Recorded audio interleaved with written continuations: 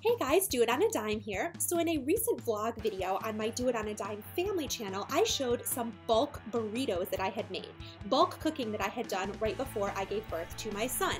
And a lot of you guys requested for me to actually show you how I made this and how we saved a bunch of money by doing this.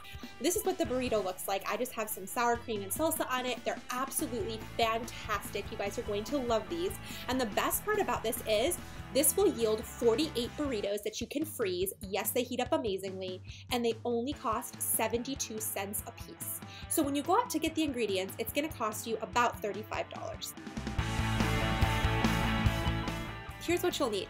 The first thing is six packs of either whole grain or multi-grain tortillas, and that should have about eight tortillas per bag. You're also going to need some dry pinto beans. This is your protein. These are very, very inexpensive. Mine are less than $2. You need two bags of 32 ounces. And you also need cheese. I wait for a buy two, get three free sale at my grocery store. And you also need this Indian rice, um, basmati, I think. I'm probably saying that wrong, but you'll need that. And you're also going to need kosher salts, as well as two onions. I'm just showing one here, and a little bit of Tabasco. So if you're one of my Hispanic friends, taking pinto beans that are bagged instead of canned is like putting on an old shoe. But for a lot of people, it can be very intimidating if you've never taken beans and cooked them like the old-fashioned traditional way. But seriously, it cuts down on all of those bad chemicals and extra salt and stuff, and I just think they taste a lot better. So all you want to do is empty out the bags that you're going to be using. We used a bag and a half and just rinse them out to get all like the rocks out and just to make sure that they're nice and clean.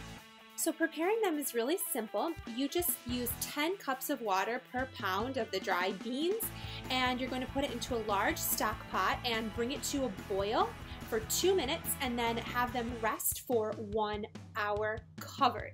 Then after that, you're gonna rinse the beans and you're ready to use them. Then you want to prepare your rice according to the package directions. So I think the key to making these taste extra tasty is chopping up two onions to add to the burritos as well as putting some Tabasco sauce on your rice.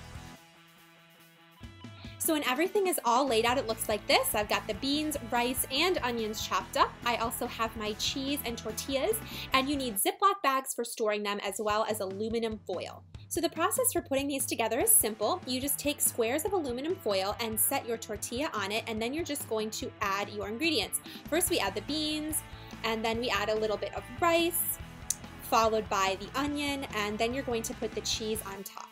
Now the key to making this is to make sure that you don't overstuff it because then if you do, they're really not as good and you've got stuff busting out the sides and they're really hard to fold. But Charlie's like a master folder. He just takes the sides up, curves it around, gives it a little tuck, and then he's just going to take the aluminum foil and it's ready for labeling. So when everything is all said and done, it looks like this. I take about six to eight burritos per Ziploc baggie and just stuff them in, and I'm going to put these in the freezer, and I usually take out one bag at a time to defrost in the fridge before we warm them up in the microwave. And you can see I've labeled them with what's inside as well as the date, and these are so, so yummy. Now to reheat these, you can use a conventional oven about 350 degrees for maybe about 10 minutes or so, or you can just zap them in the microwave for about two minutes and top with your favorite salsa. I just use this Harris Teeter brand. It's less than $2 for the jar, and sour cream because I love sour cream so much. And to this one, I've also added a little bit of cilantro sauce because I felt like it and it is part of this glorious, nutritious meal. This is a dinner that we had the other night, just a walnut and goat cheese and berry salad and this burrito. No meat in it, but you would never know. It is divine. I'm such a huge proponent of going meatless at least once a week. It definitely saves lots of money.